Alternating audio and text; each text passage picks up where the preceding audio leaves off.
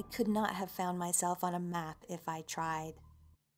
But perhaps it was just as well, because I couldn't have found the Dewdrop Cafe on a map either. For over an hour, I had been driving down the same road without coming to an exit or even any signs of civilization. The road was edged with thick woods covered in lush kudzu. The only illumination was my car's milky yellow headlights. I was on my way to my sister's wedding and wasn't in the best state of mind. But I reflected one never is when attending a wedding, especially alone. I watched the murky midnight landscape flow past the car window like a dirty river. Lights and colors were hazy, and almost everything was tinged green. I hadn't anticipated the length of this drive. If I'd had to ballpark it, I would have said the route from Pensacola to New Orleans was two and a half hours. I'd been going for almost five.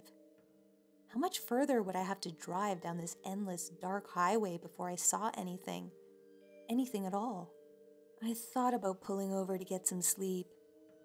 Beyond my headlights, beyond the edges of the rain slick road, there was only a wild thicket of trees and vines and shadow. I started looking for a break in the heavy wall of vegetation where I could pull in and hide the truck. There had to be some kind of dirt road, a trail, anything. And then I saw shafts of light, warm light, golden almost, filtering through the trees up ahead in fragile rays. I slowed as I approached. A small dive bar?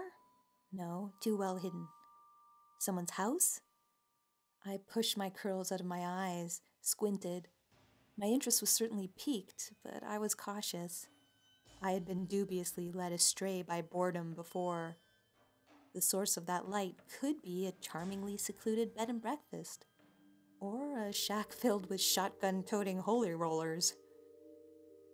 But as soon as I reached the lights, and the rays fell through the side window, bathing my face, stinging my eyes, I saw the break. It was a small, dusty road studded with small, gleaming white objects, like pearls. But they couldn't possibly be pearls. Shells, most likely. I hesitated, then directed the truck down the dirt road. What the hell, I thought. Any port in a storm. The road was incredibly rocky, and the truck and all of its contents seemed to rumble down.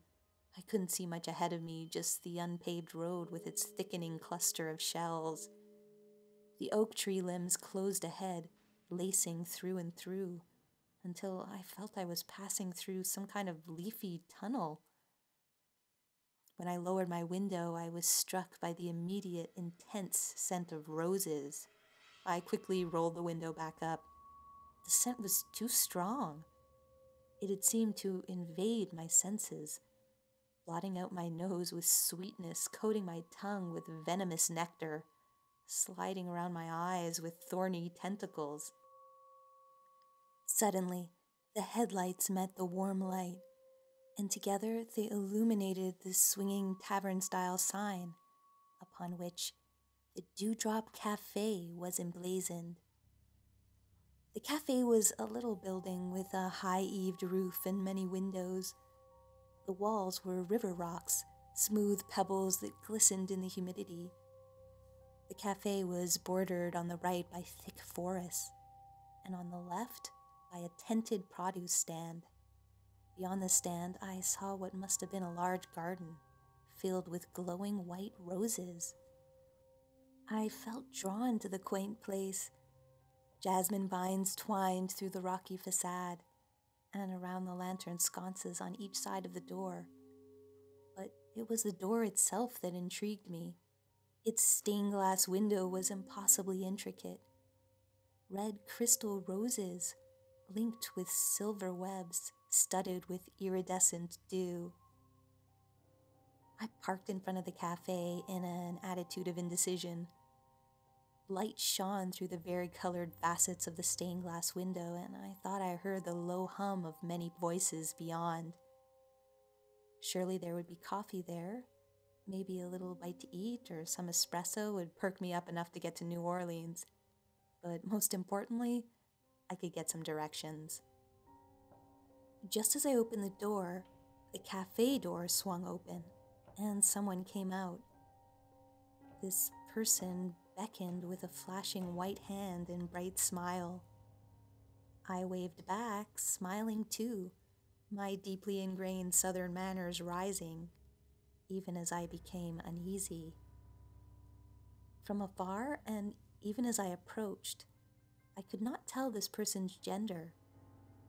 The person was quite young, stood tall and lean, and wore misty blue jeans and a loose white sweater. Their hair was full, thickly curled and white as a lamb's down. The hazy golden light struck a halo around their head. You're open? I asked. The youth sidestepped and gestured inside. Of course. Welcome to the Dewdrop Cafe. The heavy floral scent outside faded as I entered. The walls were the same inside as outside, bare river stones with vines, but these were lined with flowering mosses. A cool mist seemed to radiate the walls and gather under the sconces. The place was like a cave, I thought. I could not help myself and spun around slowly, looking all around. In the far corner, Silvery chimes winked, a fountain bubbled, and glass globe terrariums slowly swung overhead. Windows all around bore the same roses as the front door, except those in the far back alcove, where black wrought iron tables and chairs were arranged.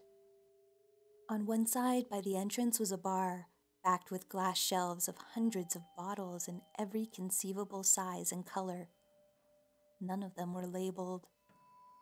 On the other side were plush green velvet couches, tossed with many silk scarves and cluttered with old leather books. Please have a seat wherever you like, the youth said. I'll bring you a menu. Uh, sure, I said. I went over to the alcove and sat at a table by the largest window. The pale green curtains were drawn tightly when I sat down, the sound of voices seemed to press against the glass. I lifted the curtain inquisitively, only to be stopped by a cry from the other side of the room. Sir, the youth called, please don't do that. There's a private party in the courtyard outside, and it would be best if they didn't know you were here. Before I could inquire as to why, the young waiter hurried out a nearby door, leaving me totally alone. I sat quietly, my hands in my lap. I was confused by this, of course, but I let the confusion roll through me. I looked around the cafe once more, and something struck me as familiar about it, as though I had seen it before, in a dream. I tried to shake off the feeling, glancing down at my watch. Half past midnight, the witching hour, I thought, and that made me smile. I don't know why, but it felt genuine. I watched the mist gather under the sconces again, and it gave me a strong sense of tranquility, of peace.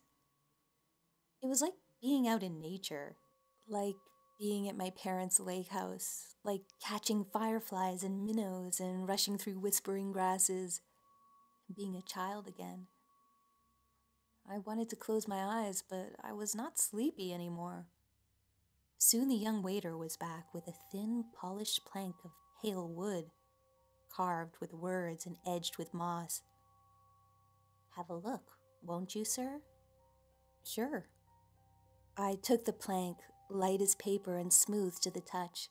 The menu was double sided, with one side in English and the other side in strange runic letters. I took a moment to study those and ran my finger over their sharp grooves. What uh, language is this? I asked. That? That's Futhark. Futhark? I nodded. Okay. I made a brief mental note to look that up later and scan the English side. Most of the dishes appeared to be vegetarian, and the vast majority were desserts. There was squash flower salad, honey jelly with candied rose petals, pumpkin soup, barley bread with butter, blackberry scones, roasted watermelon, rosemary lavender cookies, and a number of other dishes much more bizarre and harder to pronounce. To drink, there was coffee, of course, and every tea imaginable, along with spiced cider, blueberry mead, elderberry liquor, nettle wine, and honeyed milk. The choices were overwhelming, and reading the description of some of these things made me unbelievably hungry. Coffee, definitely, big cup. And, uh, what would you recommend? I asked. The question seemed to amuse the waiter. What is it you most like? To sing, to dance, or to sleep? Uh, what? The waiter was patient. To sing, to dance, or to sleep? I laughed outright. A dance, I guess, I said. The waiter nodded, taking the menu. I know just the thing. Then, with the slightest hollowing of the waiter's cheeks, I knew he was male. Once again, quite impossible to know why, but I was certain. The waiter suddenly knelt and reached below the table. I jumped, but the youth came up with a handful of tiny red capped mushrooms. I stared, then looked under the table. Indeed, there was a small ring of the little fungi around the table, and a small mound of them in the middle. I had not noticed that the floor was earthen. When I glanced up, the waiter was gone, and I was alone once more. I chuckled. What's the hell?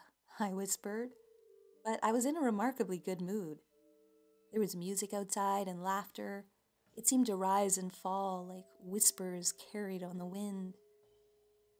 I tried to focus on the music, but it escaped me. Ribbons through my fingers, drums and violins, harps and bells, and other instruments I could not name. I heard the rhythmic tapping of many feet on a dance floor. A woman squealed with delight. I looked around the room to be sure the waiter was gone. Then I lifted the curtain just so and peeked out. Outside, there was a vast courtyard edged on three sides by thick woods, illuminated by a chandelier hanging from an overhead branch.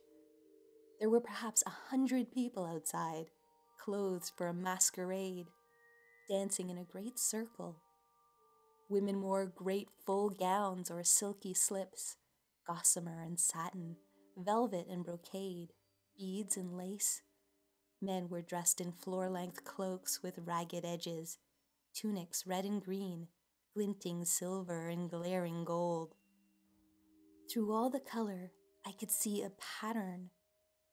Green jackets were embroidered like leaves, red skirts cut like petals, hair teased like the clouds or flowing like water, masks glittering like gems or roughened like wood. It was all to do with nature. But it was the masks I focused on.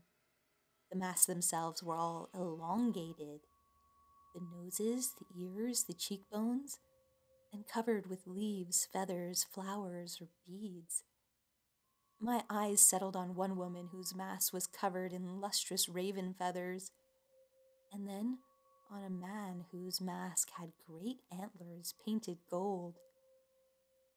A woman in a lilac silk sheath of a gown and pure silver mask stopped to catch her breath and turned to see me. I glimpsed her eyes, impossibly pale a jasmine flower fell from one of her blonde braids. She raised a hand and waved at me. I was transfixed and leaned closer to get a better look. I nearly fell out of my chair when I heard the waiter cry out again. Sir, please don't do that! The waiter pulled the curtain from my hand and arranged it fretfully over the window again. I felt dazed as though I'd just woken from a deep sleep and a vibrant dream. I had to physically shake my head to rid myself of the sensation. What? I managed. Why?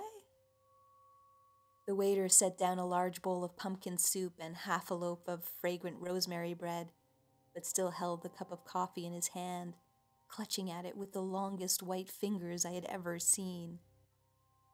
Sir, did they see you? Did they notice you? Uh, a, a girl. She saw me. What, what's the big deal? The waiter shook his head quickly, pursed his lips. His expression of pure dismay was almost comical, like a child's. He put the coffee down in front of me and crossed his arms over his chest. Please, sir, I'm telling you this for your own good. Whatever happens, whatever they say, no matter how much they tap at the glass and call you, do not go out there. Do you hear me? Do not go out there. With that, the waiter went to the back door and locked it. He tapped the tip of his nose and then quickly left the room. Now I was uneasy again. I picked up the curtain and pulled it aside to find the girl was gone. Now a man was staring at me, clad all in muddy brown, with a tree bark mask and squat red acorn like hat. His mask only came to the bottom of his nose and I could see the man's wide smile and sharp little teeth. Spooked, I dropped the curtain and turned to my meal. The pumpkin soup steamed up my glasses. I hadn't realized how cold I'd been before then. I laid a hand on the rosemary bread, warm as a hearthstone. Then I dipped a fluff of bread into the soup and ate it. I was dizzy again. The soup was heavily spiced, and along with sweet earthen pumpkin, onion, garlic, nutmeg, and allspice, there was something bitter. Beyond this, I couldn't tell. There were too many layers to it, and the bread was the same rosemary and black pepper, thyme, honey, butter, and that same bitter ingredient. Impossible to really dislike, I noticed that despite the intricate flavors and numerous spices, and there was no salt. But I didn't care. I ate greedily. I was finished before I even took notice of the coffee and found it hot and rich. It had chicory in it, New Orleans style, cinnamon, and almost too much sugar. Its warmth filled me with contentment, and I could almost forget the sight of so many people dancing in a circle, and one man with sharp teeth, staring only at me. I sipped at my coffee for a while longer, wondering where the waiter had disappeared to. I was totally comfortable again and felt a peculiar pang of sadness when I thought that I should leave soon. Then there came the lightest rapping on the window pane. I eyed the curtain warily. If it was some kind of masquerade party, surely someone had come in something scary. Long teeth made sense. Wouldn't hurt to take one more look, would it? I had lifted the curtain before I knew I had made the actual decision to do so. The dance went on wildly, and I noticed that everyone was barefoot. One man was hopping from one foot to another and crying, Thorns! Thorns! A woman nearby took up the chant, and everybody began to mimic the man, laughing and bumping into one another. A woman with a dress torn over both shoulders shouted in a language I couldn't identify. Two men, both wearing red hats, stumbled out of the circle in tandem. One of them turned around and they both saw me. They had the same sharp smiles they cried out to the company as a whole, chanting one word over and over. It sounded a shade or two off the word fair. Many of the company turned and followed the men's gazes back to me. A frisson of excitement rippled through the crowd. Some waved, some whispered to one another. The music paused, and a few dancers fell out of step. The red capped men, with a few others, approached the window. They raised long fingered hands and cooed to me. Behind masks, I saw strange, hungry black eyes. I didn't like that. I didn't like the way they went to the window and not the back door. Soon, they pressed their hands against the window. I wanted to look away because these enchanting masqueraders were turning into something horrible, and I didn't know what or why. One of the red capped men clacked his nails against the glass, and with the other hand reached back to pull the string of his mask. Come out, he rasped. His voice was brittle and whistled like an autumn wind through dead leaves. Yes, do come out, a woman said, drawing near. Come be with us, have a dance, another said.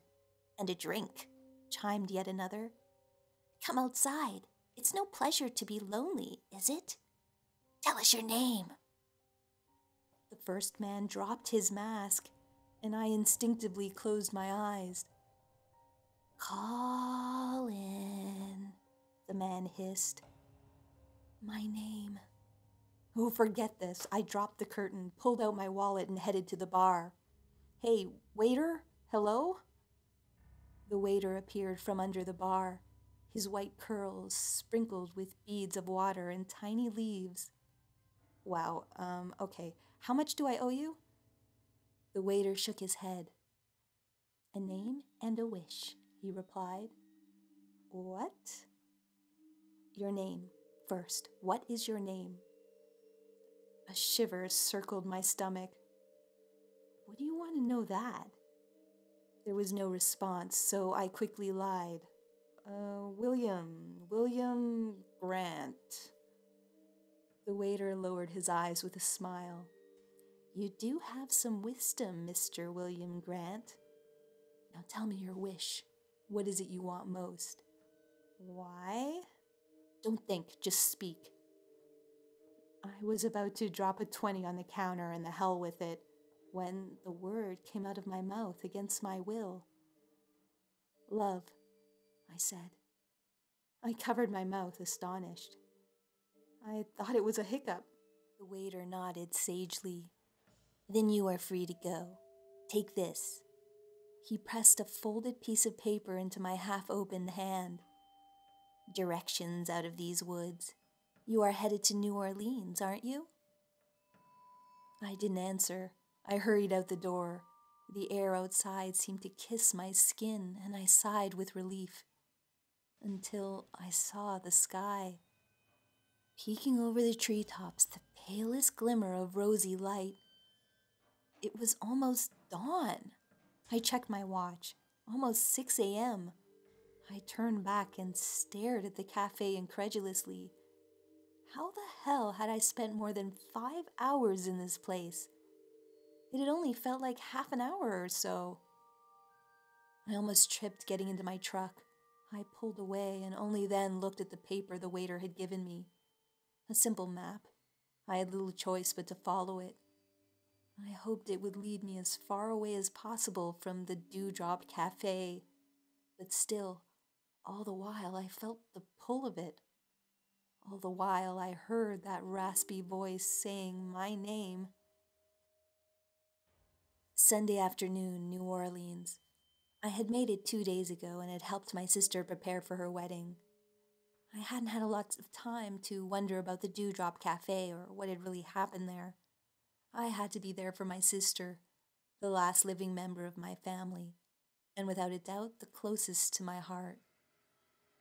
When I had walked her down the aisle, veiled and giggling, Amy, little Amy, I forgot myself entirely Amy and I had practically raised each other after our parents died.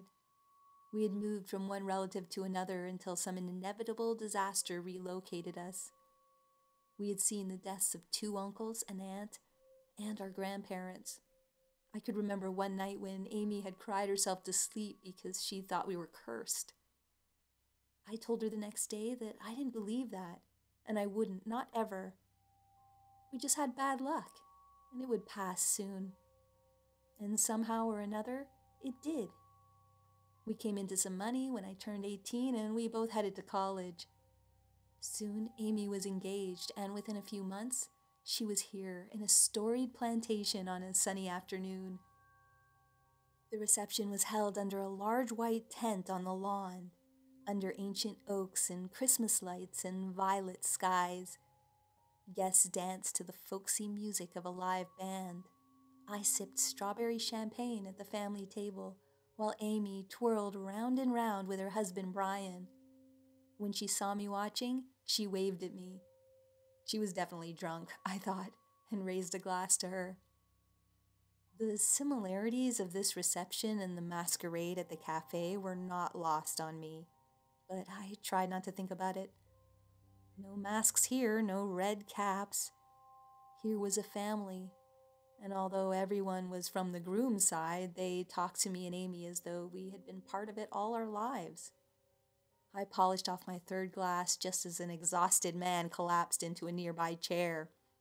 I'm getting too old for this, the man laughed, dabbing his forehead with a handkerchief. You're the bride's brother, right? Colin? He said. Yes, and you're one of Brian's uncles? One of six. So, great wedding, huh? I'm Ronnie, by the way. I shook his hand. Then something occurred to me. Hey, you live around here, right? Born and raised Louisianan. Have you uh ever heard of this place called the Dewdrop Cafe? Ronnie leaned back in his chair a bit, eyes narrowing. Sounds familiar. Describe it. I briefly went over the look of the place the river rocks, the stained glass, the earthen floors, and wrought iron tables. It was like a cave inside, I admitted finally. Ronnie stared at me for a minute. Then, slowly, he asked. The waiter was a kid. Maybe a girl, maybe a boy. And you thought you spent a few minutes there, but when you checked your watch, a lot longer had passed? Yeah. I leaned forward, a little jolt of adrenaline in my veins. It was real, not a dream or a nightmare. I knew that, but it was so good to have it confirmed. You drove a long way for this wedding, huh? No, just from Florida. Why? Ronnie looked puzzled. That place was in Massachusetts. Never forgot it. It was somewhere outside Salem. Hey, Ronnie, someone called from the dance floor. Ronnie got up, and I was left staring at the chair he'd left behind. Massachusetts, I thought. I had a feeling that place wasn't a chain. Soon the music changed, slowing, easing, and as couples made their way to the floor, I sat once again at the family table to joke with Brian's uncles. During a break in the conversation, I scanned the floor for Amy. I didn't spot my sister, but I saw a sight familiar and foreign at the same time. She was swaying alone, arms around herself, eyes closed. Her lilac silk dress whispered against the ground. Her blonde braids, set with bursts of jasmine, slid off her shoulders as she tilted her head to the music. It was the girl from the courtyard, the girl from the cafe. Her eyes opened it was her, all right, and she was looking at me with the sweetest smile. I tried to be disturbed, even horrified that she was here, that she had found me. But I was rising, I was headed towards her, her cat like eyes so large and just a bit too far apart, her lips dark rose and gleaming. She was so still, she was waiting. A couple passed in front of her, obscuring my view for a moment. I craned, but when the couple was out of view again, she was gone. I saw her the rest of the night, and she always disappeared before I could approach her or speak. She was dancing under the trees last I saw her, dancing, far beyond the tent on her own, even as the band was packing up. I thought dimly of what the strange waiter at the cafe had asked me. What is it you most like? To sing? To dance? or to sleep, to dance. On the road the next night, I thought of her. The way her white cheek was gold struck by the Christmas lights, the shine of her waist length hair, the silvery shift of her graceful limbs in that dress. Why had she been at the wedding? If she had followed me, why hadn't she spoken to me? Why did I wish I had pursued her more? I had better directions leaving New Orleans this time, but I got lost again. This time, in the grip of midnight, the forest edging the road changed. There were no more magnolias, myrtles, southern pines, or kudzu. The forest was lit with such color it seemed aflame. Trees were bleeding red, winking gold. Their lights were broad and star shaped. When I lowered the window, the air was brisk and smelt of smoking fires. I glanced at my watch. Midnight again. I wanted to pull over and touch the trees. None of it felt real. Ronnie's voice was in my head. Massachusetts, somewhere outside Salem. I rubbed my eyes fiercely. It was happening again, wasn't it? I was lost and helpless, and I knew the road would lead me right back to the Dewdrop Cafe. And perhaps, just perhaps, back to her. Sure enough, after a few more minutes, I came upon the same shafts of life, the same leafy tunnel, the same shell road, the same river rock building. The door was open, no one was there. I drove up as though magnetized. I left the truck, my feet pulling me to the door. A cold autumn wind surged at my back, pushing me forward. The scent of roses and jasmine assaulted me again gently spreading cool fingers over my face and neck. It was warm in the cafe. The moss was slightly thicker on the wall stones, and the curtains in the alcove were open, but nothing else had changed. It was as though I had never left. I breathed out steadily. There had to be some method to all this, but I couldn't make sense of it. I turned. The blonde woman smiled at me. The door was still open behind her, but I hardly noticed. I could not speak. What is it you wished for? she asked, taking my hand and leading me to the plush couches. What is it you desire most in the world? Love, you said as much. Her voice was mellifluous, light as sugared petals, fresh as a mountain stream. I ached when she stopped talking, absolutely ached. She plucked a flower from her hair and tucked it behind my ear. The brush of her fingers against my face made me shudder. The cafe was filled with the smells of pumpkin pie and cinnamon apples. I could have fallen asleep. What is this? I asked. Whatever you want it to be. Come with me and feast every night, dance every night. You never need bother with this world, its death, its pain, or its fear ever again. She slid a finger under my chin. We can go from here. We can go to meadows untouched by man, to forests flooded with fireflies, to mountains that pierce the skies. Her laugh was tenderly indulgent. It's time for you to make a choice. A choice? Yes.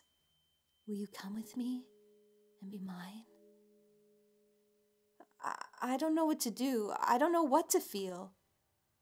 I pressed myself into her neck, taking in her honeyberry scent. I was at the lake again with my sister, jars full of fireflies, and my mother called us back inside blueberry pie and laughter, the drowsing quiet of an autumn night, a fire in the hearth sputtering, crackling, going out. Would you like to know such a world? Always? The Fey woman asked. You can have this and more. Come with me and never leave, never return to this world of loss and pain. Yes. I wanted to say yes. I was so sick of being lost, even when I knew where I was and where I was going. But then I thought of Amy. I pictured her in her wedding dress. No, I said, and the enchantment was broken. I got to my feet and tried to look away from her. I couldn't. I want to stay with you, but I can't just disappear on my sister or my life. The woman rose and the color of her eyes shifted with the light. She turned and headed for the back door. Wait, I called. Wait. I'm never going to find anyone on my own, am I? There's only you. She stopped but did not turn. I'll tell you my name if you want it, I said. Colin, my name is Colin. The woman's laugh was sprightly, and when she turned, she changed. Her cheekbones were high and sharp, her eyes glistened black and iridescent, her ears pierced through her hair, knife like, and her lips were bloody red. Colin, she repeated. And with that, she was gone. I was out the door and back in my truck by dawn again. I laid my head on my steering wheel, breathing in the scent of worn, beaten pleather and faded cigarette smoke. When I raised my head, I was in Louisiana again. The dawn was unfolding behind my truck, an empty forest clearing. Soon, the road unfurled before me. But I wasn't headed home. I was headed to New Orleans to see Amy one last time and after that, to Massachusetts.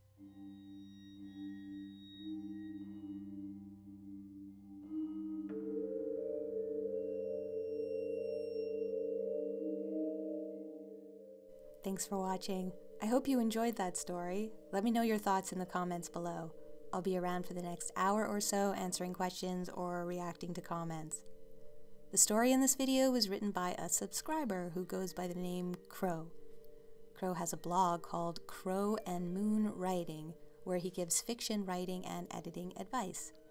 The link to his blog is in the description. The story I read here was an abridged version of the original, shortened just for length.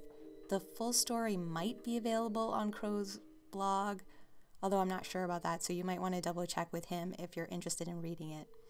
If you're a fiction writer and would like to submit an original fairy story to be narrated on the channel, please email it to me. My email is also in the description. Just a few quick requirements. I prefer stories written in the first person, and please keep them between 2,500 and 5,000 words. Ideally, the story should be set in the real world as opposed to in a fantasy world, and of course, involve some sort of creepy encounter with the Fae folk. I'm looking forward to reading your submissions. As always, I'm collecting your true fairy encounter stories, so if you've got one, I'd love to read it. Please email it to me whenever you feel like sharing. That goes for fairy art as well. If you have any to share, please email it to me with fairy art in the subject line. Of course, special thanks goes out to all my supporters on Patreon. Thank you guys so, so much for the support you're giving this work. If you like this content and would like to support it, please check out my Patreon page. The link is uh, in the description as well. Every dollar is really, really appreciated. Don't forget to comment below, like, share, and subscribe if you're new, and hit the bell to receive notifications. And until next time, this has been a visit from your scary, fairy godmother.